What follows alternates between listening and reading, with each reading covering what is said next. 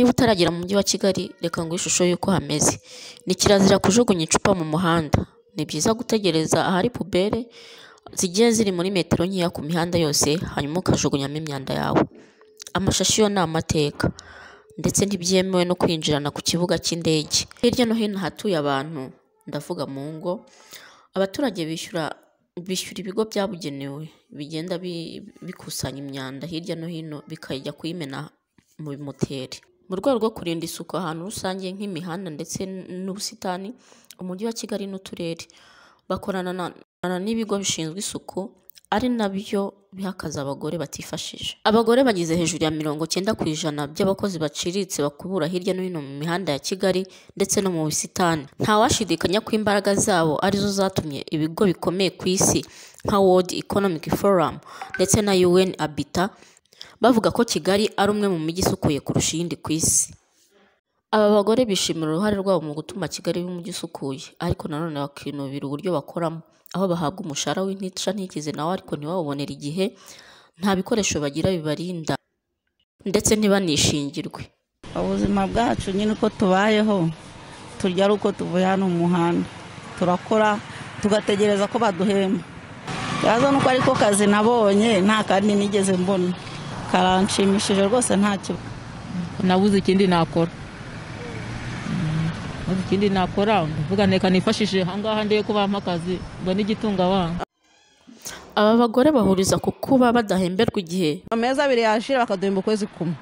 Ibyo bingiraho ingaruka kubera ko mba nahembewe igihe na- n'ayandi bampaye bayampa nyinshi n'imyenda none bigatuma ntazatera imbere runa- ntatera imbere kubera ko ayo bampaye nta kintu amarira. Ampa nyinshi n'imyenda ibyo mba narafashe. Ikibazo nyine ikibazo nyine ni uko tuba tudahemberwa igihe ngo tuyabone igihe adukemura ibibazo twakagombye gukemura. Akazi dukora hano rero abantu ba- baragasuzugura kubera ko bataduhembera igihe kandi tukagakora tugakora tu- tugize twijujuta kubera bataduhemba bakaduha akazi nta bikoresho tureba nk'ubu nta ga mfite ndakunda toraguza imyanda intoki bigatuma twakandura n'indwara runaka umuntu atamenye iyo ariyo ndimo nyine kuko njye ntabwo ndamaramo iminsi. Ariko nyine barimo n'ubu barimo barataka ko batarabahembana n'ubu ukwezi kwashize. Eh, ntabwo ngo bahemba neza nagiye mabati ntabwo bahemba neza ariko ndavuga ngo kazi ni kazi reka nkore.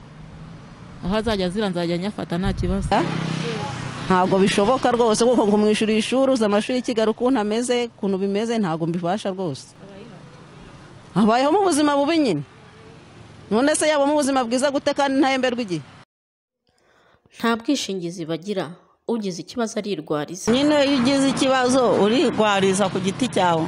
Nta buyobozi tuzi kuko nta muntu n'umwe uraza kudukoresha inama. Nyine akazi ubundi badusanga mu kazi nk'uku nguku. Noneho nk'iyo kampanyi iba ifite bandi iba yarasinyiye. Noneho yarangira twe tugakomeza tukaba mu muhanda no tukabona indi ije ikaduha akazi.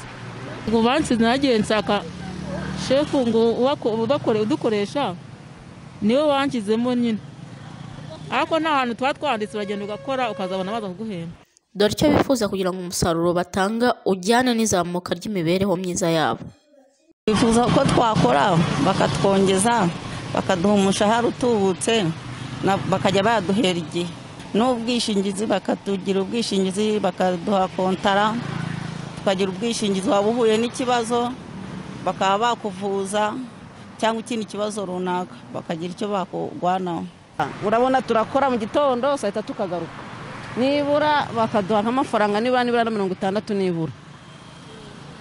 Icyo nifuza ndifuza ko nibura bajya baduhembera igihe bakatwishyura mu bwishingizi bakatwishyura n'iyo mituweli nibura umuntu n'ivugizi n'ivugizi noneho n'abaduhaye akazi bakaza bakadukoresha n'inama tukababwira ibibazo dufite nabo tukungurana ibitekerezo Umuryango utari uwa leta urwanya ruswa n'akarengane Transparency International Rwanda uherutse kugaragaza ubushakashatsi bwakozwe ku bibazo bitandukanye abagore bakora isuku mu muhanda bahura na byo.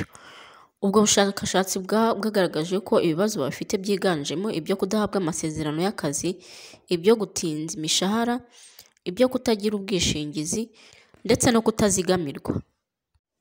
Uyu muryango ugaragaza ko mu bibazo wakiriye bingana n'ibihumbi bitatu magana atandatu na cumi na bibiri mu mwaka wa makumyabiri na rimwe mirongo inani na gatandatu ku ijana byabyo by'abagore bakubura mu muhanda.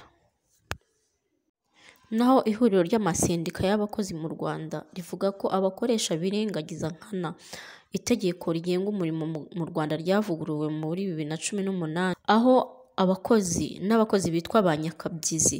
Hari uburenganzira bafite nk'ubwo kwishingirwa ubwo guhabwa umushahara ku gihe n'ubundi butandukanye.